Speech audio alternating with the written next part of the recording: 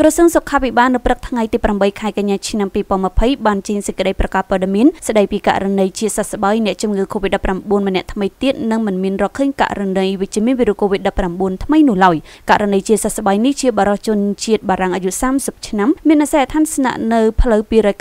ជធានីភ្នំពេញជាអ្នកធ្វើដំណើរមកពីប្រទេសបារាំងបន្តជើងហោះហើរនៅប្រទេសចិនតៃវ៉ាន់មកដល់រាជធានីភ្នំពេញនៅថ្ងៃទី30ខែសីហាឆ្នាំ2020ត្រូវបានព្យាបាលជាសះស្បើយដោយទទួលបានលទ្ធផលតែអវិជ្ជមានវីរុស COVID-19 ចំនួន2ដងនិងត្រូវបានអនុញ្ញាតឲ្យចេញពីមន្ទីរពេទ្យមិត្តភាពខ្មែរសូវៀតសូមជម្រាបថាគិតត្រឹមម៉ោង7:00នាទីព្រឹកថ្ងៃទី8ខែកញ្ញាឆ្នាំ2020នៅកម្ពុជារកឃើញអ្នកឆ្លងជំងឺ COVID-19 សរុប274នាក់ស្ត្រី54នាក់និងបុរស220នាក់ក្នុងនោះចំនួនអ្នកព្យាបាលជាសះស្បើយសរុបទូទាំងប្រទេសមានចំនួន273នាក់ស្ត្រី54នាក់និងបុរស219នាក់និងអ្នកកំពុងសម្រាប់ព្យាបាលមានចំនួន1នាក់ជាបុរសត្រូវបានបញ្ជូនមកពីមណ្ឌលសុខភាពចាក់អង្រែរាជធានីភ្នំពេញទៅសម្រាប់ព្យាបាលនៅមន្ទីរពេទ្យមិត្តភាពខ្មែរសូវៀត